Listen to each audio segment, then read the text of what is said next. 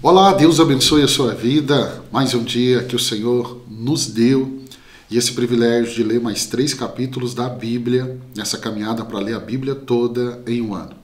Hoje vamos ler Provérbios, do capítulo 13 ao capítulo 15. O capítulo 13 de Provérbios começa assim: O filho sábio acolhe instrução do pai, mas o zombador não ouve a repreensão. Do fruto de sua boca o homem desfruta coisas boas, mas o que os infiéis desejam é violência. No capítulo 13 de Provérbios, Salomão ele oferece ensinamentos sobre a conduta prudente e as suas recompensas. Então Salomão começa afirmando que o filho sábio aceita a instrução do pai. Vou dar uma dica para você que é pai, que é mãe, se o seu filho já tem aí está é, tá na adolescência, na juventude, tente motivá-lo a ler o livro de Provérbios. As instruções aqui para o pai, para o filho, são muito preciosas, muito preciosas. E aí ele vai falar que enquanto o escarnecedor, porque ele fala do filho que aceita a instrução do pai, e o escarnecedor não ouve a repreensão. E aí no verso seguinte, 2 até o verso 4, ele vai destacar que o fruto do trabalho justo traz recompensa, enquanto o desejo dos ímpios resulta em violência. Então ele diz: do fruto da sua boca o homem desfruta as coisas boas. Verso 3: Quem guarda a sua boca, guarda a sua vida, mas quem fala demais acaba se arruinando. Nós temos alguns ditados populares no Brasil que parecem muito com o verso 3. O preguiçoso deseja e nada consegue, mas os desejos do diligente são amplamente satisfeitos. Eu vou voltar a falar com você o que eu falei no, nos primeiros capítulos de Provérbios. Se você pegar alguns provérbios desse que falou muito ao seu coração, que toca na sua conduta de vida, em como você está vivendo, anote eles, decore eles. Porque ele fala aqui, por exemplo, o preguiçoso deseja e nada consegue. Se você é aquela pessoa que está lutando com a preguiça, ou talvez você seja um preguiçoso, anote esse versículo. Ele diz: Mas os desejos do diligente são amplamente satisfeitos. Salomão vai continuar e Salomão vai exaltar a importância da integridade, afirmando que a justiça guarda o íntegro de caminho mas a impiedade perverte o pecador. Olha o verso 6, é onde ele diz isso. Verso 6: A retidão protege o homem íntegro.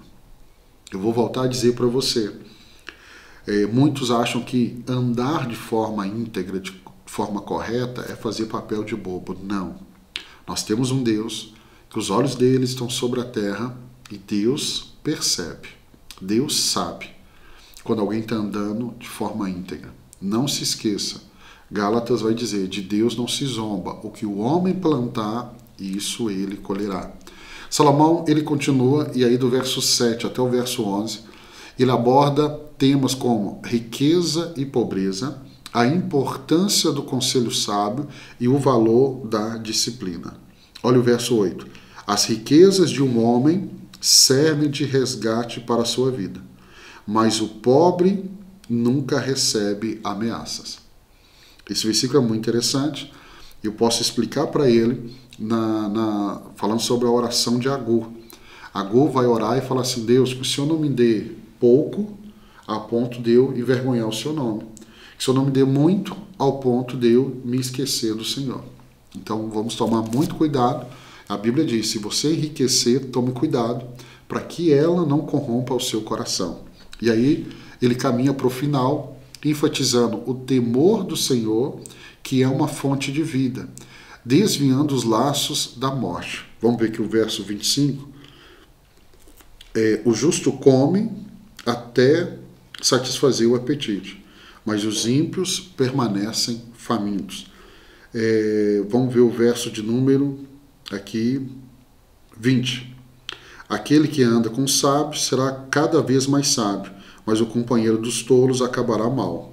Então você percebe que ele vai trazendo essas pílulas de conhecimento que, se você aplicar, Por exemplo, o verso 20 aqui, aquele que anda com sábios será cada vez mais sábio, foi o tema de uma das pregações que eu fiz aqui na igreja que eu pastorei. Com quem você tem andado. Nós somos fruto do resultado das pessoas que estão à nossa volta. Mas vamos agora para o capítulo 14. No capítulo 14, Salomão, o propósito é mostrar o contraste entre a sabedoria e a insensatez e os resultados de cada caminho. Ele começa assim: a mulher sábia edifica a sua casa, mas com as próprias mãos a insensata, a tola, derruba a sua. Quem anda direito teme o Senhor, mas quem segue caminhos enganosos o despreza. Então ele vai começar aqui no verso 1, afirmando que a mulher sábia edifica a sua casa e a insensata a derruba com as próprias mãos. Ele vai destacar aqui do verso seguintes até o 12, ele destaca que o caminho do tolo é, é reto aos seus próprios olhos, mas que o sábio ele ouve conselhos. Salomão aborda aqui temas como a importância de falar a verdade. Ele aborda temas como a generosidade, a justiça, a confiança em Deus. E aí ele termina o capítulo 14 com essa variedade de tema, é, é, contrastando a paz e a alegria. O justo a alegria do justo com a inquietação e a destruição dos ímpios. Partir do verso 29 do capítulo 14, isso fica tão claro. Ele vai dizer assim, ó: O homem paciente dá prova de grande entendimento, mas o precipitado revela insensatez. O coração em paz dá vida ao corpo, mas a inveja apodrece os ossos. Olha o verso 32. Quando chega a calamidade, os ímpios são derrubados. Os justos, porém, até em face da morte, encontram refúgio. Verso 35: O servo sábio agrada o rei, mas o que proceder envergonhamente incorre a sua ira. Então, no capítulo 14, e aí eu vou me lembrar aqui do Salmo 1, verso 6, que ele diz assim: Porque o Senhor conhece o caminho dos justos, mas o caminho dos ímpios perecerá. Esse é o resumo do que você vê aqui no final do capítulo 14 de Provérbios. Vamos para o capítulo 15?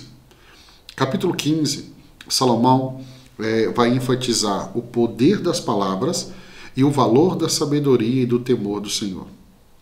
Você percebe que sabedoria e temor do Senhor são temas principais de Provérbios. Salomão vai começar no capítulo 15 afirmando que a resposta branda desvia o furor, mas a palavra dura ela suscita a ira. A resposta calma desvia a fúria, mas a palavra ríspida, ela desperta a ira. Então não é somente o que falar, mas como falar. Às vezes, eu estou falando o que é certo, mas a maneira que eu estou falando está gerando ira. Então, olha que pera, olha que sabedoria. E aí, o verso 2 ele destaca: a língua dos sábios adorna o conhecimento, mas a boca dos tolos derrama a estutice.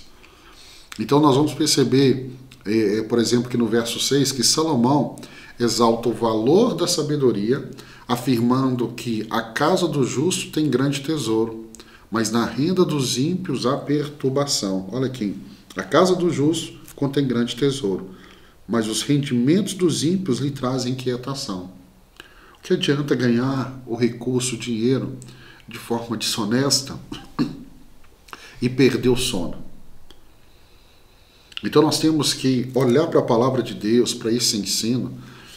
Salomão vai terminar o capítulo 15 afirmando que o temor do Senhor é a instrução, é a instrução da sabedoria e a humildade precede a honra.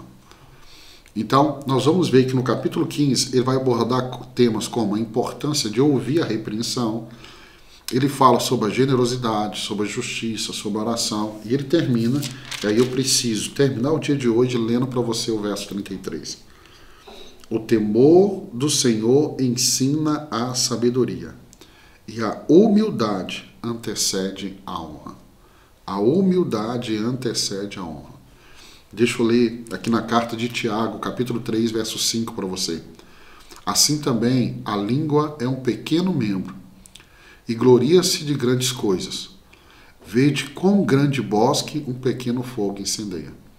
Então, o capítulo 15, ele nos ensina que as palavras têm um grande impacto e que a sabedoria e o temor do Senhor trazem bênçãos. Então, eu e você devemos buscar ter sabedoria nas nossas palavras e buscar viver em temor ao Senhor. E isso vai nos guiar, nos guiar em paz e nos guiar em honra. Eu quero abençoar a sua vida. Terminamos mais três capítulos. Amanhã, se Deus permitir, nós vamos estar aqui juntos, lendo do capítulo 16 ao capítulo 18. Deus te abençoe.